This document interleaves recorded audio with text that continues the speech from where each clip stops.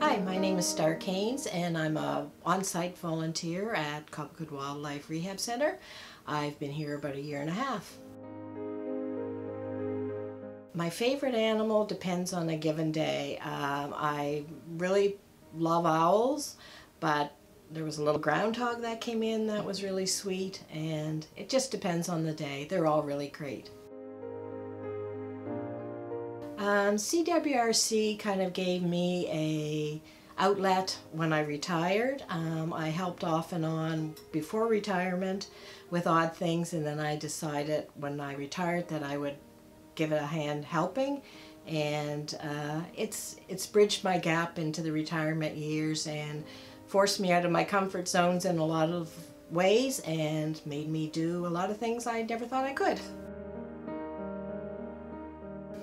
I think it's important to do the work we do because um, our environment is at risk on so many levels and if we can help out even saving a life or two or putting something back into nature then that's worth it.